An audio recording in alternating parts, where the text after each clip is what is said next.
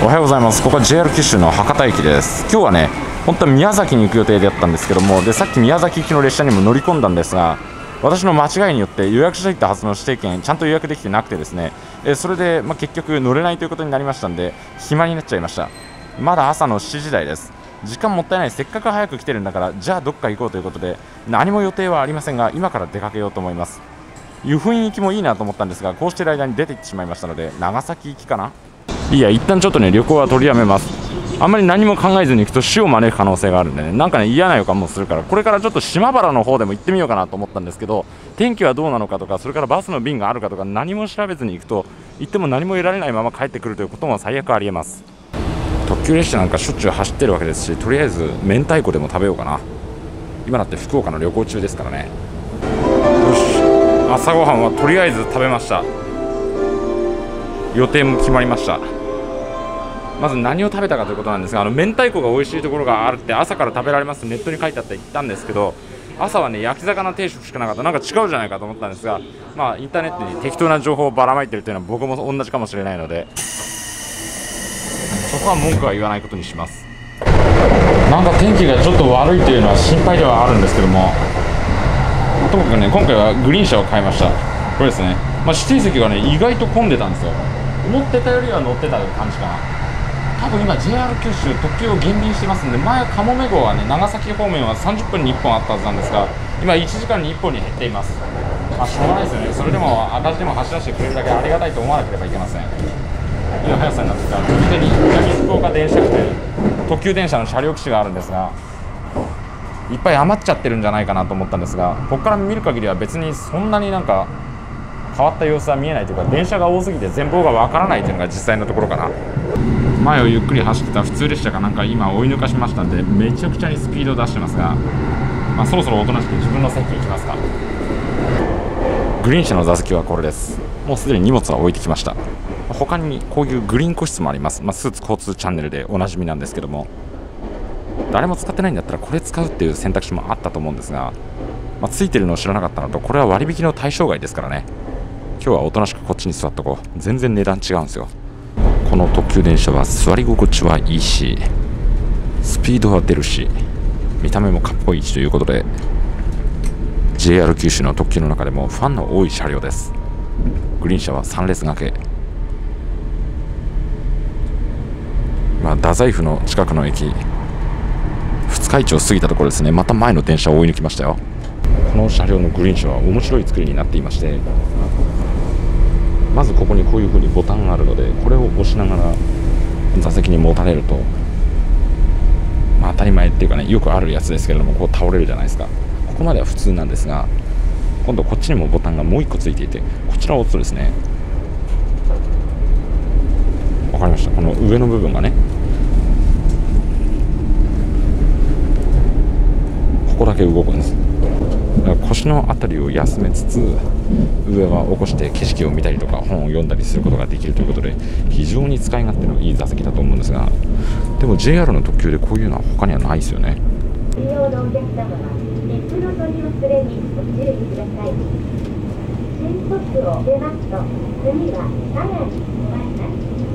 どんどん天気悪くなる一方だったんですごい不安だったんですがよかったよかった。天気もねだんだん回復してきました今列車は佐賀平野の中を爆走しているところです。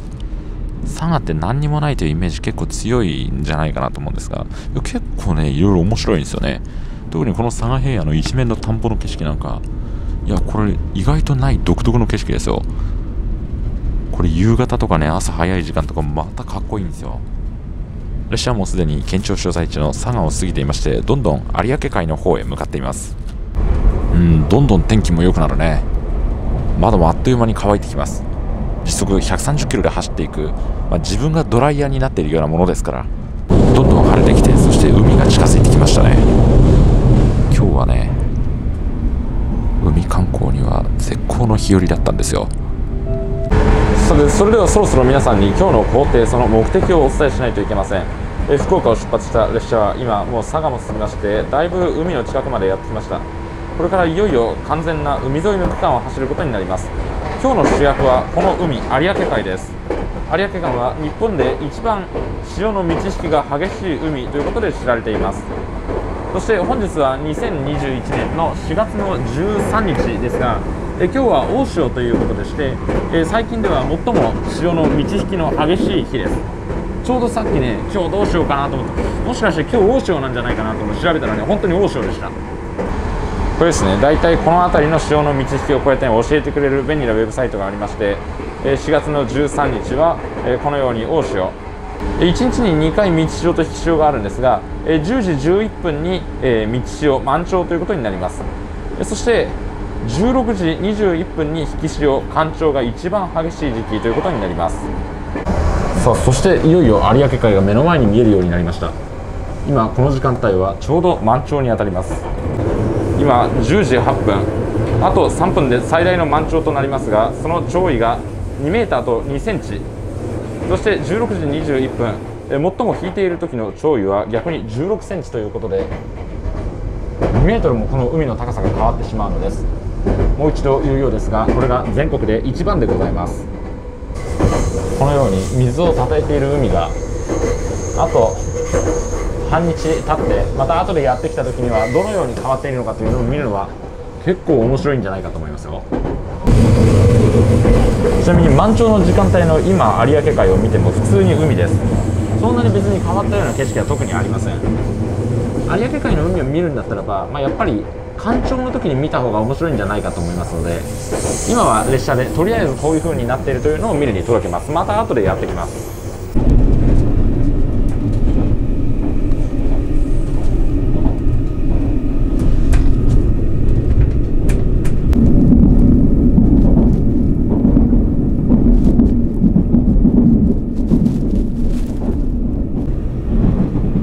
列車は長崎県に入りました。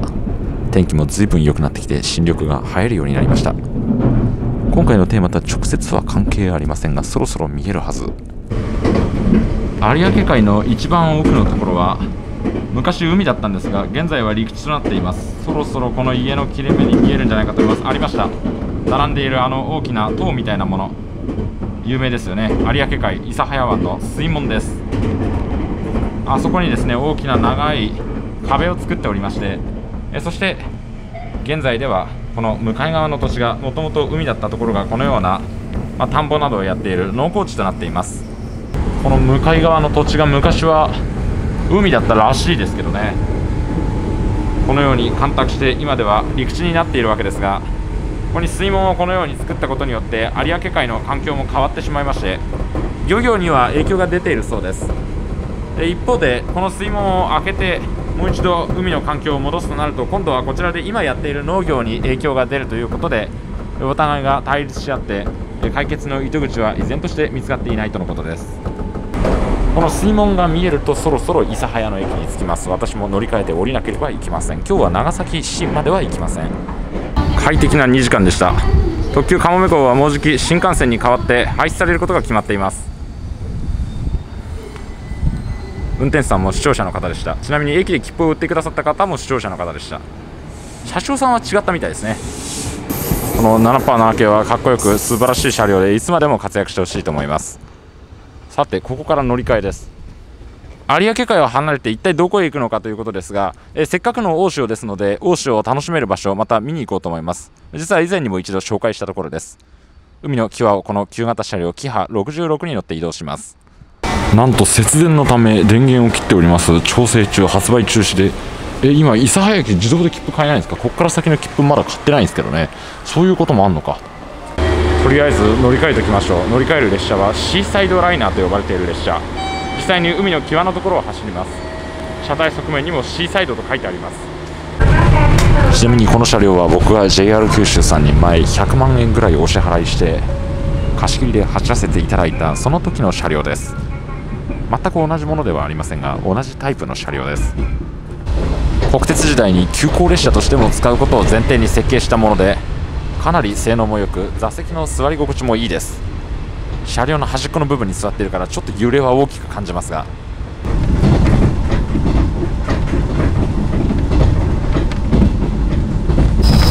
またこのように海沿いの区間に出ました。さっき見た有明海とはまた別の海です。こちらは大村湾。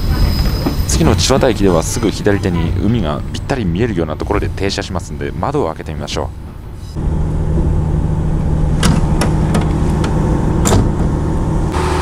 まあできたらもうちょっと日が出てるとよかったんですけどね。まあこれでも爽快な気分を味わうことはできると思います。もっと青々とした海が見たかったところではありますが今日の主役は一応海水面のその高さなのでそれだけ注目しておけばいいかな。さっきよりももうすでに少し海面が下がっているんじゃないですか。上の方がねちょっと石が濡れてますけれどそこまで水が来てないですから。よかったよかった。天気もだんだん良くなってきましたね。晴れるとやっぱりこの海の青さが違います。こういう古い車両に乗るとですね地元の通学の高校生がこういう金属部分に落書きをしたりするんですけど面白いものを見つけましたよ。これねカッターとかで刻みつけたやつだと思うんですが愛し超よって書いてあるんですね。愛してるじゃないんですね。九州だからやっぱり九州の特有の言い方で愛し超よになるんだ。よらすけさんとゆかそさんかな。またさらに進むと有名なハウステンボスもあります。もうちょっと早ければチューリップが見頃だったんですけれどもちょっと遅かったかな。4月に入るともう見頃は終わりという印象です。手前のところにお花を植えてくれてます。ハウステンボスではおりませんが次の廃棄でおります。この脇に流れている川ですが実はこれは川ではなく海です。非常に細いんですがこれほど細くなっているところはもうとても珍しい。川のような形をしているけれども普通に海水しか流れていないという海です。今日は福岡から特急かもめ号に乗って佐賀を通り越して肥前鹿島の辺りからはこの有明海の岸沿岸をずっと走りそして諫早からまた列車を乗り換えて今シーサイドライナーで佐世保へ向かっているところです。今回は2つの海を見ています。有明海とそれから大村湾です。この大村湾ですがまるで湖のような形をした海となっておりましてこんなに大きな海湾にはなっているんですけれども外海とつながっているところがほんのわずかな箇所しかありません。列車は今廃棄の駅に向かっていますがこの廃棄の駅の近くにほんのわずかに川のような形でこれ外の佐世保湾とつながっています。これ一応こんな細くてもちゃんとしたこれ海なんですよね。でもう1箇所それからもう少しだいぶ西の方に行ったところにやはりこの佐世保湾と大村湾をつないでいるところがあるんですけれどもともかくこのようにまるで川なのではないかと思えるぐらいにとても細いところを通ってこの大村湾と外の海がつながっているわけです。廃棄駅に到着。今からその海が非常に狭くなっている珍しい景色を見に行きます。まあ、今から紹介するところ動画よく見てくださってる方はね前にも見たことあると思いますんでお前何回同じ場所紹介してんだよと思うかもしれないですけど今日はね大潮ですから多分全然見え方も違うと思うんですよ。さあお目当ての場所に到着です。どうかな？おやってるやってる。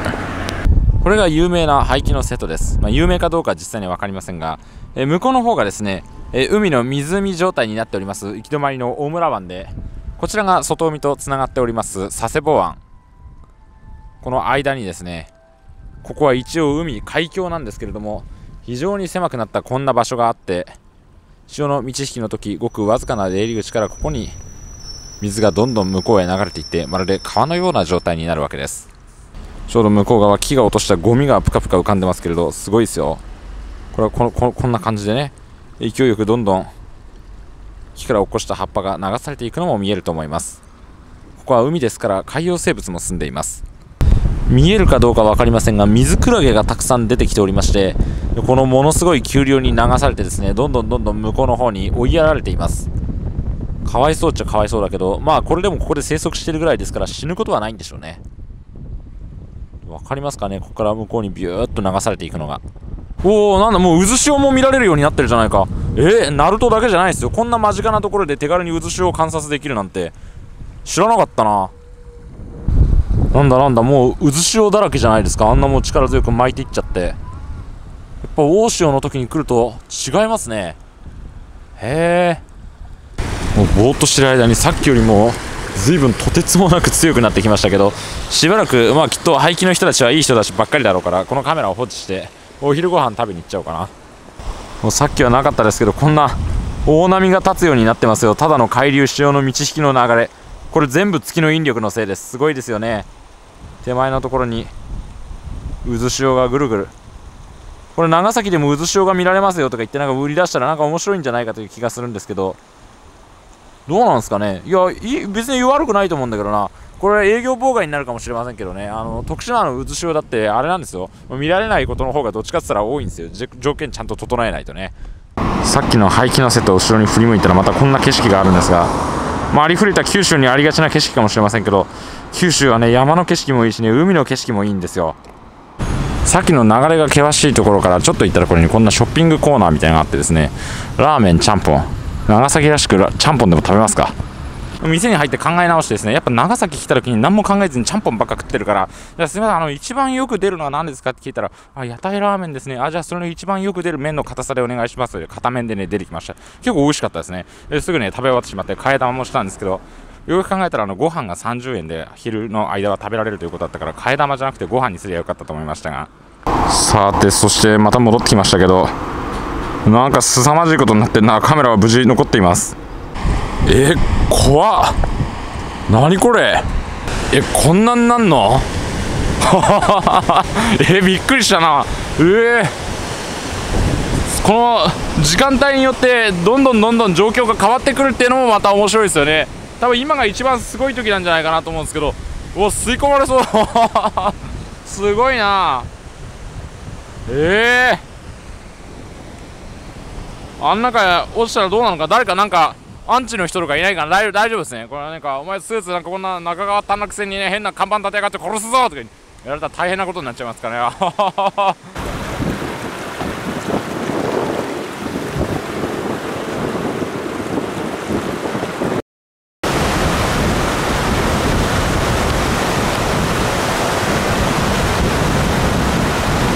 やっぱウォーシオってのは面白いですわ。今日思いつきでやった旅行にしてはとても質が高いと思いますよ。何これもう渦潮の発生する余地もないじゃないですか。全部どこかへ消えてしまいましたよ渦潮なんて。ちなみに視聴者の方のコメントによるとですねあの詳しい方が教えてくださったんですけどこの下になんか石積みみたいなのがある多分これだと思うんですけど江戸時代にこの辺りの干拓埋め立て作業をするにあたってえこの潮の満ち引きがあまりにも激しすぎるということで、えなんとかしようとこの対策でこういった土台とかを作ってですねでこの辺のあの満ち引きのちょっと強さ流れの強さを若干弱めるとか、えそういったこともしたそうです、まあ、逆にここがひときわ狭くなってますからね。ここからザバーっと行くその勢いはより強く感じられているのではないかと思います。向こうの裏側の磯の景色も随分雰囲気が変わってしまいました。そうここは一応こんなに狭くても海峡ですからここにあるのは岩場というよりも磯なんですよね。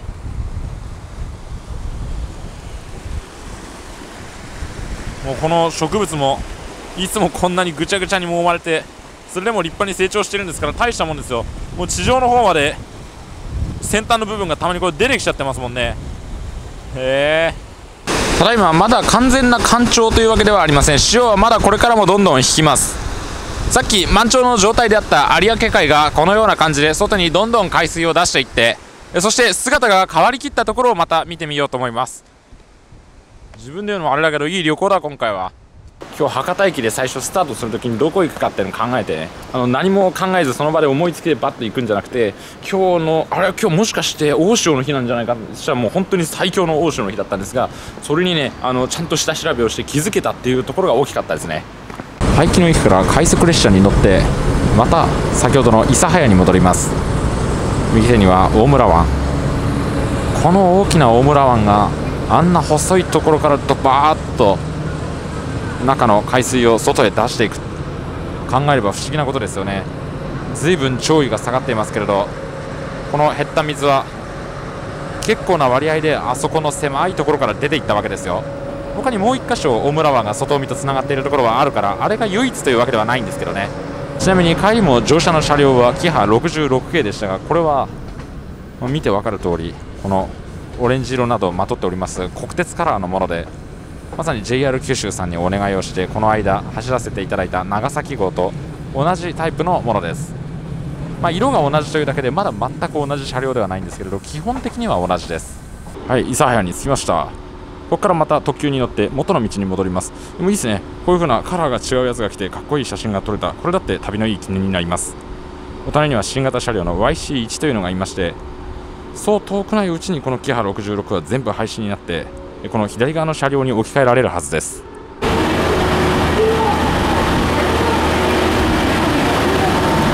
一日に同じ場所を何回も見るという楽しみをこの列車の中からまた味わうことができそうです。博多駅の特急かもめ号がやってきました。自由席の切符。肥前鹿島まで630円でした。かっこいいですよねこのパーパー合計かもめ号やソニック号で使われている車両です。ソニックって書いてあるわ。もともとはねソニック用とカモメ用があったんですけど今はどっちにも使ってますんで。博多行きの特急かもめ24号です。自由席は列車の前方の4号車と5号車と6号車です。こっちの方がいいかな。こんな立派なフリースペースがあってですね。ここに座って、まあ、これ何のための場所なのか分かんないですけど多分電話したりトイレ待ちしたりするような場所なんでしょうね。この大きな窓もついているのでここに立って外を見れば基本的に、まあ、車内の他の方のご迷惑にもならないでしょう。あんまりね他の方に聞こえるようにブツブツ喋るってわけにはいきませんから。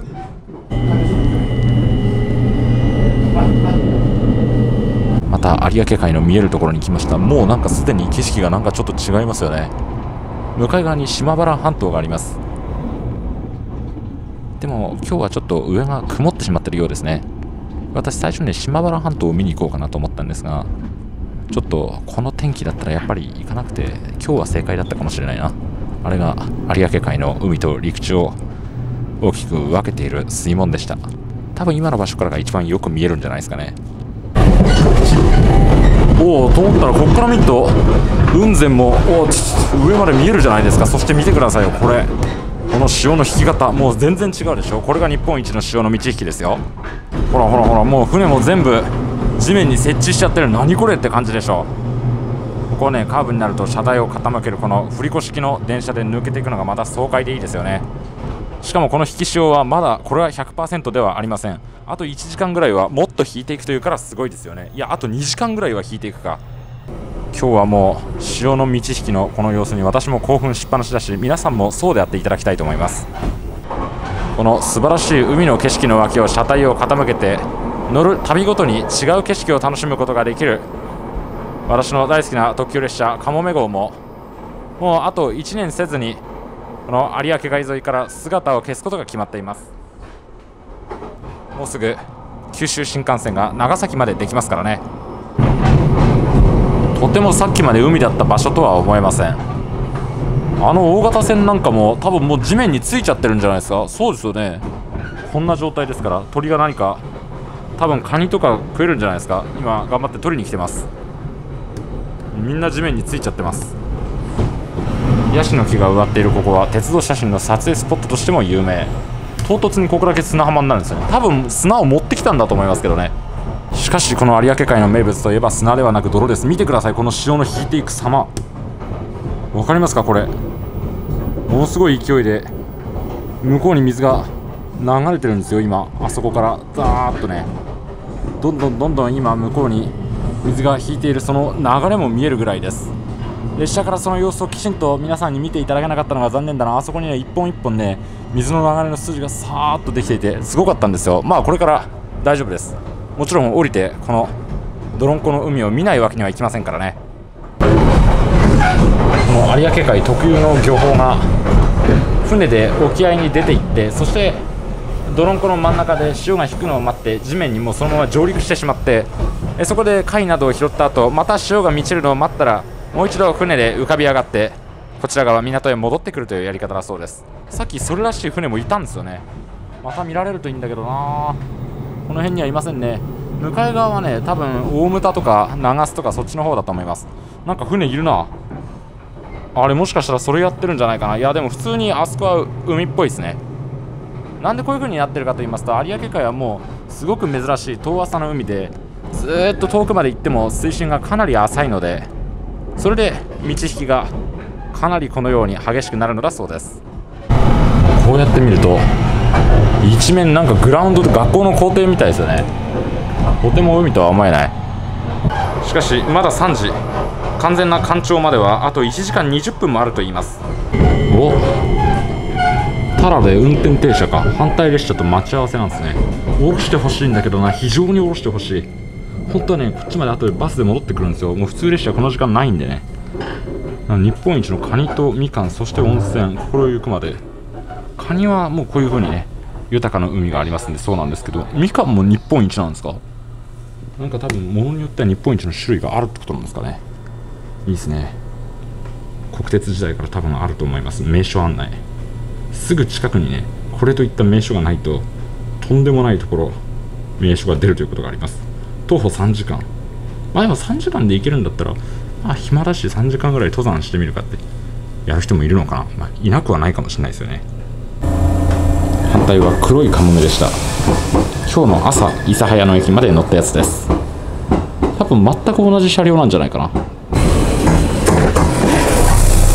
のは私だけでした。肥前鹿島に到着です。乗るお客さんはいっぱいいます。JR 九州の駅は大きな神社の近いところは基本的にこのようなオレンジ色朱色で塗られています。この鹿島市には有名な有徳稲荷というのがあります。鹿島駅特急がいっぱい止まりますけれども昔ながらのとてもいい駅です。まず看板の時点でいいですね。こうやって見てみるとオレンジ色のこの屋根の建物は後から付け足したものでこの木造の駅舎が元からのものだっただろうということが分かります。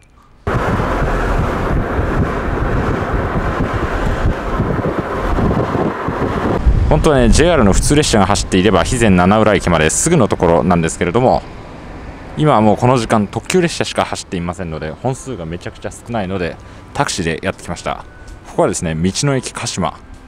もうすごいもう超底辺 YouTuber だった時代に僕一回ここ来ましたけど動画も残ってますけどそれ以来ですよね。干潟展望デッキってのがありますがすごいわ。でもやっぱり外からこうやって直接見る方が面白いですね。どこまでも続く陸地。さっきまでは海だったところです。こんな風な景色ではありませんでしたよ。皆さんもご覧になった通りです。海は今あの辺にあるみたいです。随分遠くまで行ってしまいました。ちなみにさっき、えー、有明海の潮の満ち引きが、えー、今日は2メートルぐらいだと言いましたが実際にはこの地域では4メートルほどの、えー、差があるそうですただ、新月の時の大潮と、え、満月の時の大潮でちょっと状況が違うみたいで、えー、今日は新月なので、ちょっとね、まだ全力では実はなかったみたいで、本当のすごい時は5メートルぐらいの差があるそうです。お、いるいる。ここはこのように栄養豊富な海でございまして、この辺かな？こっちにいっぱいいましたね。塩招きみたいなやつが泥んこになって水の上で何やら探しています。しかし春は小ガニのシーズンなのか分かりませんけど随分小さいのがたくさんいますね。目だけ水の上に出して鳥か何かを警戒してるみたいです。私が近寄ってきたのを確認したら逃げるのかな。影に隠れても今のところは動きはそんなに変わらなさそうですねちょっと脅かしてやろうこうやって影で隠したりとか揺さぶったりしたら慌てて逃げていくかもしれませんが逃げないな。しかし、すごい景色ですが、今でもまだ水の引いている最中です。ちょっと静かにしてみましょ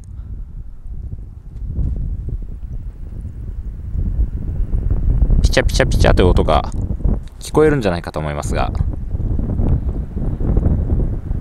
今まさに多分潮が引いて水が少しずつ少しずつ動いているからこその音なんでしょうね。ということをブツブツ言いながら水を見ていたらですね、これ分かりますか？左から右に流れてるでしょう。潮が今、やはりここでも勢いよく引いている最中なんじゃないですか？水クラゲが打ち上げられています。大丈夫かな？間に合うかな？潮の満ち引きはね、さすがに私にもいかんともしがたいのですが、まだまだあと30分ぐらいは潮が引いていって、また満ちるまでにもだいぶ時間はかかります。ここにね、今、カニがいましたよ、これ。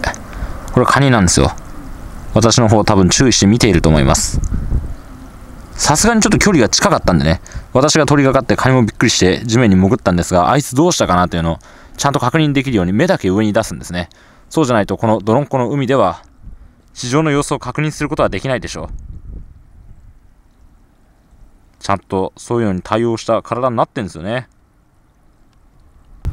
で、これね、結構いろんなものが住んでおりまして、まあ、カニはもう圧倒的に多いんですけれども、ちょっとこうやって遠くの方を見てみるとね、この辺もカニか？あ、ほらほらほら、いたいたいた。これですよ。遠いんでもうカメラの望遠めちゃくちゃに効かしてやっと見えてるんですがこのように泥んこの上を張って進むなんだムツゴロウムツゴロウがおりますこれ食べられるんですよね。寮でなんか出てきたやつを私もいただいたことありますけれど。ムツゴロウはねちょっと奥の方にこうやっているんで肉眼で見るんだったらばもう泥の中に長靴踏み込んで見に行くのが 一番いいかもしれないですが、まあ、他にも見るコツあると思うんですけどこういう風に離れたところでは上のところで頑張って張って進んでいます。そんなになんか頑張って苦労しているという感じもしないですね。乾燥にも強い魚なんでしょう。しかも結構たくさんいます。うわなんか巨大な魚がいると思ったらねこんなムツゴロウいるのかと思ったら普通に鳥でした。鳥たちにとっては今がお食事タイム。ムツゴロウが今食われているところなんじゃないですかね。カモがいっぱい何やら探して見つけ次第食べています。こんなにいっぱい食べるものがいるわけですからまあこの人たちもそう簡単に食べるものには困らないんでしょうね。なんか捕まえるのも割と簡単そうだしね。でも多分ムツゴロウの方もこういうのに狙われたらまずいということで泥の中に逃げ込むようなことはやっているはずです。それでは人間様の方はと言いますとこういった大きな網をですね海の方にバンってやってそれで多分ムツゴロウこれ取ってるやつだったと思うんですけどね。こんな立派な仕掛けをしております。これ前はなんかもっといくつかあったような気がするんですけど新調したんですかね？なんかそう見えるな。多分前のやつこういう感じで壊したんでしょうね。とりあえずこの周辺はひとしきり見たので一旦戻ろうと。上がってきたんですが県内の立候は常時閉鎖を実施しています。開けたら必ず閉めてください。これ本当は開いてちゃいけないってことですかね。あ確かに閉まりそうだ、まあ、一応高潮被害防止のために閉めとくか。もしかしたらなんか実はローカルルールがあるのかもしれないですけどわからないものにとってはとりあえず原則をやっておけばいいのかな。これで効果あるかな。でも変なことするよりはまあとりあえずここまでにしよっか。多分これをあ上に上げるんだね。こんな面白い景色の見られる干潟の近くでは美味しいものが食べられます。やっぱ恵みの海がありますからね。問題は今食べられるのかということなんですけどうわ終わってるわ。14時半。残念。しかももう牡蠣は3月の14日で終わったらしい。前はねここに来ると牡蠣とかがいっぱいあって300円ぐらい払えばなんかすごいいっぱい食べられたりしたんですけど味噌汁に牡蠣が入ってたそれにすごい美味しかったんで食べたいなと思ったんですがまあしょうがありません。その代わりなんかねこんなの見つけました。前来た時はなかったと思うんですけど九州内9位西日本全域15位で佐賀県内で一番うまい道の駅の食べ物ってことですかこれ。とりあえずまずはみかんソフトクリーム。おおなんかこぼれそうだな。すぐ食べよう、うん、おいしいな。もうすでになんか初夏の陽気ですわ。朝はあんな気温でどうなるかなと思ったけど。でもこのまま美味しいんですけどこのさっきの道の駅の中でもなんかムツゴロウがもうそのまま丸々1匹かける10みたいなのがパック詰めされたりとかね。あのアサリがどっさり入ったりとかなんか泡吹いてるカニがなんか大量に入って500円で売ってたりとかすごかったですよ。ちょっと商品を勝手に移すのどうなのかなと思って撮影はしてこなかったですけど。有明海らしいものせめて海苔ぐらい何か食べて帰りたいなと思ったんですが道の駅って基本的に加工したものとかそんな名物は売ってないんですよね。なんか売ってるんですけど鶏の唐揚げとかねなんかハンバーグとかそういうのは売ってるんですけどなんか地元のものを使って加工したものってのはそんなにない印象ですね。まあしょうがありません。普通に海苔買って帰ってこようかなとも思ったんですがまあ今日はもういいことでしょう。このまままっすぐ博多に帰ります、えー、16時38分発なんで多分ねもうすぐ来ると思うんですよ。おずいぶんなんか小さいバスで来たな。これなんですね。多分ねちょうど僕が最後にムツゴロウのあの漁をする場所を紹介している頃が満潮と干潮の切り替わりのタイミングだったみたいでそこはあんま意識してなかったんですが海はまた少しずつ水をたたえる方向に戻っていっているようです。鹿島市の中心部までやってきました、まあ、もうそろそろ駅に着くわけですけど個人商店がいっぱいありますがそれでもどれもね活発に営業してて賑わってますね。肥前鹿島駅に戻ってきました。発車まであと15分。本当はね有名な有徳稲荷も行きたかったんですけどもまあ行く時間はなくはないんですがなるべく早く博多に戻った方がいいかな。明日の朝も仕事がありますんでね JR の方のところにご挨拶に伺います。有徳稲荷には行けなかったですが肥前鹿島の駅でこういう名物のお菓子を買いました。稲荷羊羹これ北海道の函館にあるのと似てますね。どっちが先とか分かんないですけど。これをあキャップをまず取るんだな。そうそうそう。あ全く一緒の食べ方だな。取ってでこれをちょっといかんいかんかこぼれちゃうからね。こうやってね。こう押し押し出すわけですよ。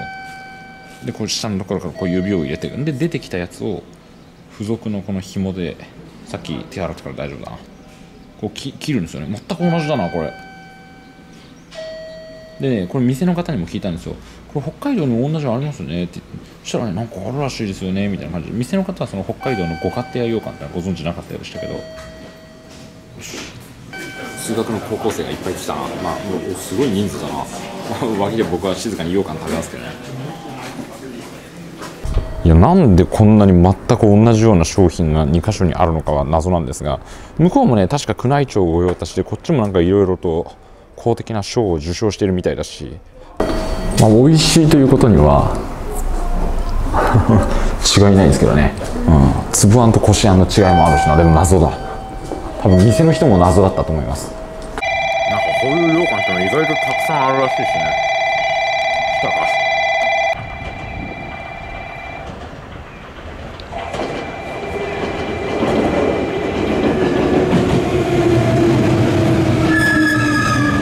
か。帰りの特急かもめ号は行きよりもさらに混んでいましてグリーン車を越えてさらに上位の席デラックスグリーンを利用することにしました、まあ、どうせなんで面白いものに乗って帰ってきたいという気持ちもあったからです。そんなにね極端に高いものではないんですけどね。列車の中で3つしか座席が設置されていないとても豪華な特急です。